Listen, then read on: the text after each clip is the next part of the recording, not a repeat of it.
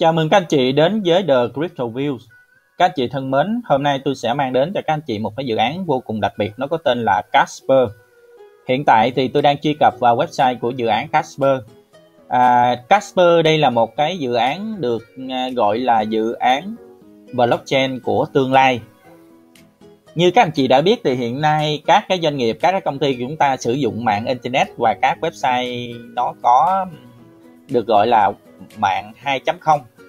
thì hiện tại trên thế giới họ đã đã và đang xây dựng một cái mạng lưới blockchain 3.0 nó gọi là web 3 thì cái mạng lưới 3.0 này sẽ sử dụng hoàn toàn trên nền tảng blockchain. À, thì các cái doanh nghiệp của chúng ta muốn chuyển đổi sử dụng sang mạng 3.0 thì chúng ta buộc phải sử dụng cái công nghệ blockchain thì cái Casper này nó là một cái nơi, nó là một cái blockchain nền tảng giúp cho các doanh nghiệp có thể sử dụng cái nền tảng này để có thể xây dựng một cái nền tảng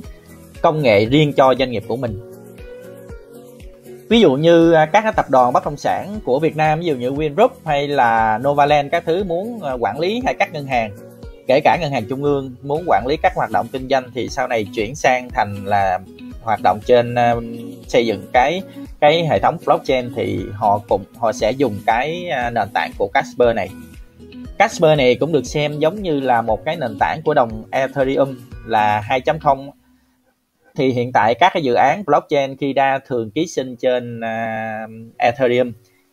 Thì cái Casper này nó cũng giống như là nền tảng Ethereum nó giúp cho các phục vụ một cái phân khúc đó chính là dành cho các doanh nghiệp trên toàn cầu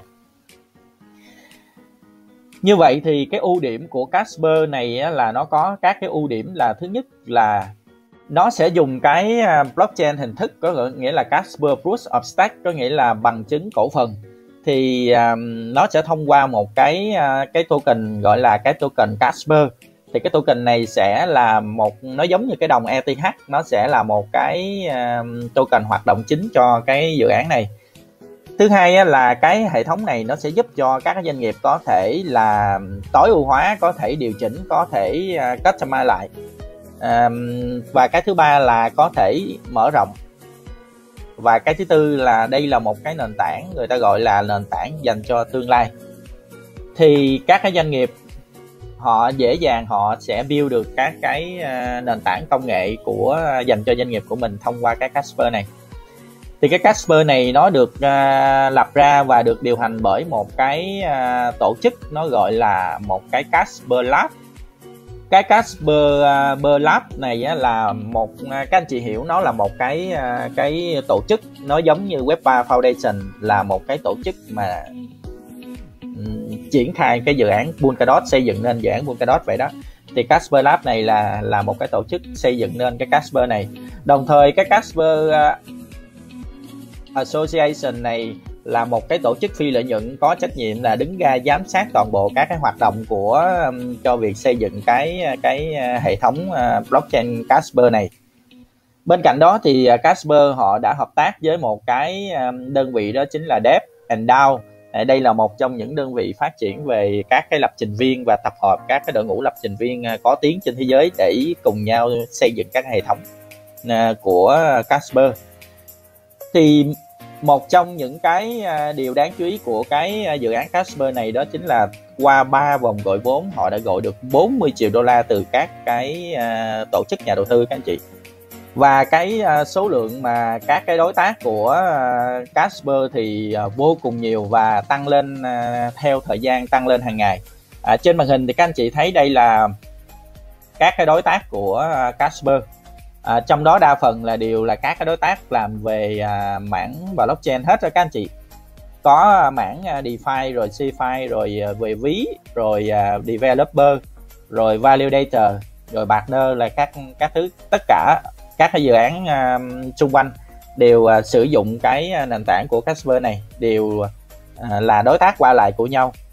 rồi à, chúng ta đi tiếp theo một cái phần đó chính là các cái à, tổ chức mà đã đầu tư cho cái à, dự án này thì gồm có là các cái tổ chức ví dụ như là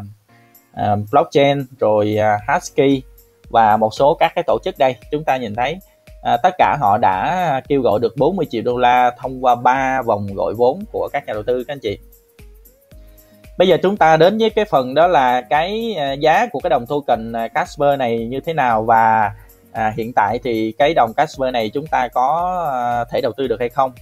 Thì các anh chị thân mến tháng 3 năm 2021 đó thì ngay khi mà cái Casper này họ ra mắt cái uh, mainnet sau khi họ cái test net của họ xong thì họ ra mắt cái mainnet thì họ triển khai bán cái token này trên CoinList. À, xin chia sẻ thêm với các anh chị là những cái dự án nào mà được list trên CoinList là một trong những dự án được đánh giá rất là ngặt nghèo và rất là tốt thì họ mới được phép list trên CoinList và để mua được một cái IDO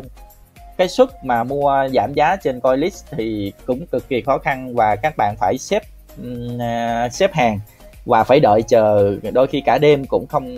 chưa chắc đã mua được cái đồng token này. Mà khi mua được rồi thì khả năng x3 x10 trong thời gian vài ngày khi mà nó lên trên sàn là là là chuyện bình thường các anh chị. Cho nên những cái dự án mà đã bán token trên CoinList là những dự án mà chúng ta đánh giá rất là cao thì nói quay lại nó sơ qua cái đồng token này thì họ đang phân phối như thế nào? Thứ nhất là họ sẽ dành 20,3% cho cái uh, tổ chức uh, Casper phi lợi nhuận của Casper này tổ chức này chuyên giám sát các cái hoạt động cũng như là việc triển khai các cái module của cái dự án Casper. Rồi các cái validator nó có cái round 1 và round 2 thì họ dành cho cho các cái validator rồi à, um, 19,5% và 16% rồi các cái developer rồi dành cho cái sàn à, uh, CoinList khi mà list lên sàn. Rồi dành cho cái đội ngũ mà quản lý chính là Casper Lab. Rồi cái team mà xây dựng nên các dự án và các cái nhà cố vấn. Thì đây là toàn bộ các cái uh, bánh mà để chia sẻ cái à, các cái đồng token này đến cho uh, uh, phân bổ cái đồng token này thì hiện tại cái đồng token là họ phát hành ra tổng cái chữ lượng chúng ta có thể xem trên coi market cap tổng cái chữ lượng là nó tới 10,2 tỷ cái đồng token. Thì hiện tại đang lưu thông ngoài thị trường là 1,2 tỷ. Cái giá trị market cap của đồng này hiện tại mới chỉ có 143 triệu đô la còn rất là thấp so với tiềm năng của dự án. Và các anh chị xem qua thì trong 24 giờ qua cái khối lượng giao dịch của cái đồng token này đến 49 triệu đô la các anh chị một cái dự án. Giá đang biến động giá không không uh, tăng trưởng không biến động nhưng mà cái khối lượng giao dịch này rất là tăng mà trước đó nó đã giảm là 32,4% rồi nghĩa là trước đó giá trị giao dịch nó còn cao hơn nữa. Thì nhìn qua cái đồ thị này nè các anh chị thấy là từ khi mà họ đưa lên sàn uh, họ đưa lên sàn giao dịch đó thì cái ờ, đồng coi mà người ta mua giảm giá thì người ta có lợi nhuận người ta sẽ xả ra thì giá nó giảm xuống đồng thời cũng bị chịu ảnh hưởng cho cái đợt mà điều chỉnh giá của tháng 5 và tháng 6 cho nên là giá trị nó giảm xuống và hiện tại giá của nó đang có một đợt tăng lên. Sau đó thì nó điều chỉnh giảm xuống bởi vì có quá nhiều người họ xả cái token này ra. Thì hiện tại giá đang rất là tốt thấp hơn giá niêm yết rất là nhiều. Giá niêm yết nó tới 0,7 đô. Thì hiện tại là nó chỉ có 0,11 đô. Thì các anh chị gần như đây là cái giá nó tạo đáy rồi các anh chị. Hoặc là nếu như có giảm xuống nữa thì cũng tầm 0,7 0,8 là thấp nhất như vậy thì nếu như chúng ta đầu tư vào cái đồng token này thì chúng ta sẽ đầu tư như thế nào? Thì theo chiến lược của tôi đưa ra, nếu chúng ta có một cái khoản tiền ờ, nhất định chúng ta sẽ mua ngay lập tức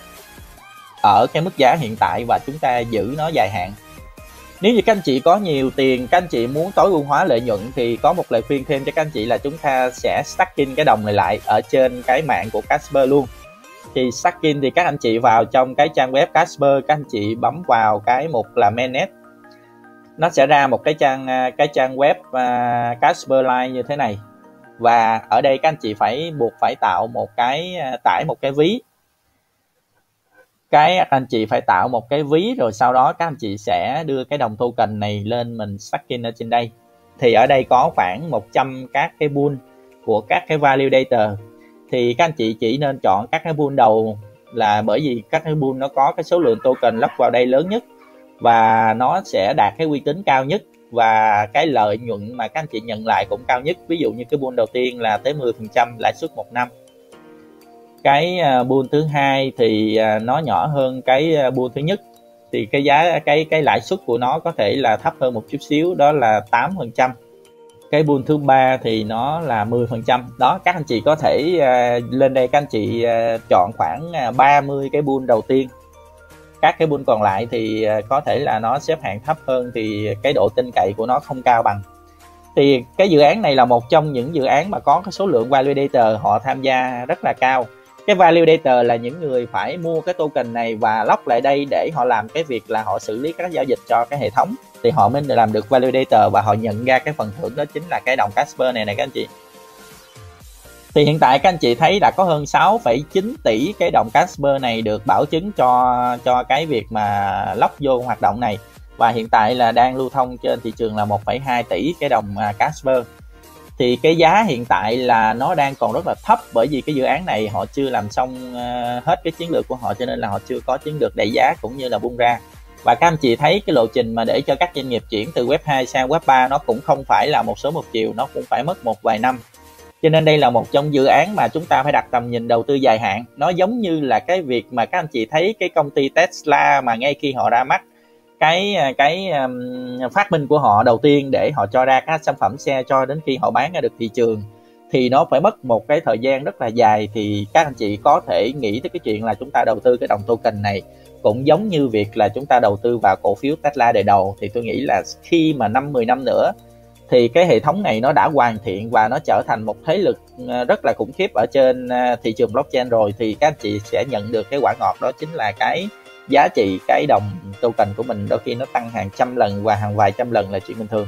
Thì chúng ta nhìn lại lịch sử của đồng ETH cũng như đồng Bitcoin, chúng ta biết là tăng giá trị rất rất là lớn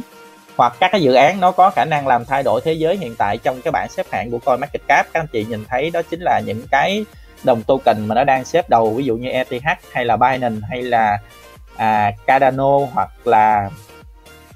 Polkadot hoặc là Solana. Đây là những dự án có nền tảng blockchain rất vững chắc và có khả năng mở rộng quá cao. Họ ứng dụng web 3 thì được các cái địa app họ ký sinh lên đó rất là nhiều. Và giá trị cái cái à, thương hiệu của họ như đồng token của họ tăng lên rất là cao. Hiện tại là Solana đã đạt 20,8 tỷ đô la rồi. Còn Polkadot đã đạt 26 tỷ. Rồi SAB đạt 55 tỷ hoặc là Cardano đạt 66,9 tỷ. Rồi Binance 71 tỷ. Đây là những dự án họ xuất phát ban đầu với cái à, giá trị rất là thấp. Nhưng chỉ qua một thời gian ngắn 3 năm 5 năm thì họ đã có được một cái giá trị rất là kinh khủng thì nếu như chúng ta sở hữu cái đồng Casper này ngay từ đời đầu như giá như thế này thì tôi nghĩ là đã là giá rất là thấp rồi. Thì các anh chị à, nếu chúng ta đầu tư dài hạn, chúng ta không ngần ngại các anh chị có thể sở hữu ngay cái đồng này. Thì bây giờ chúng ta mua cái đồng Casper này, chúng ta mua ở đâu thì các anh chị vào coi market cap các anh chị search lên cái đồng Casper. Chúng ta search ra cái đồng Casper và chúng ta kéo xuống dưới cùng, các anh chị sẽ thấy có các cái sàn giao dịch đang giao dịch cái đồng Casper này hiện tại nó có tổng cộng là 25 sàn giao dịch đang niêm yết cái đồng Casper này. Thì các anh chị có thể mua ở sàn giao dịch tốt nhất là Huobi. Đây là sàn giao dịch lớn hoặc là Gate.io hoặc là ok exchange cũng được các anh chị. Rồi sau khi các anh chị mua xong thì nếu như các anh chị có muốn uh, stacking lại thì các anh chị sẽ tìm hiểu thêm uh, cách stacking vì video này giới hạn, cho nên tôi không chia sẻ các anh chị chi tiết cái cách stacking cái đồng token vào đây. Thì nếu như các anh chị quan tâm, các anh chị có thể comment dưới đó, nếu chúng tôi xem xét cái lượng comment của các anh chị, chúng tôi sẽ làm riêng một cái video hướng dẫn các anh chị stacking cái đồng Casper này. Và một lần nữa, như thường lệ, đây không phải là một lời khuyên đầu tư, đây chỉ là một cái nhận định cá nhân và đưa ra các thông tin về các dự án tiềm năng trong tương lai các anh chị có thể tham khảo và tự chọn quyết định với việc đầu tư của mình. À, một lần nữa um, video đến đây là kết thúc. Các anh chị yêu mến xin vui lòng cho một nút like một nút subscribe và một chia sẻ cũng như để lại các comment nếu có các anh chị có ờ, điều gì thắc mắc cần chia sẻ giải đáp chúng tôi sẽ nhanh chóng à, phản hồi cùng với các anh chị. Và video đến đây là kết thúc. Thân ái chào tạm biệt các anh chị.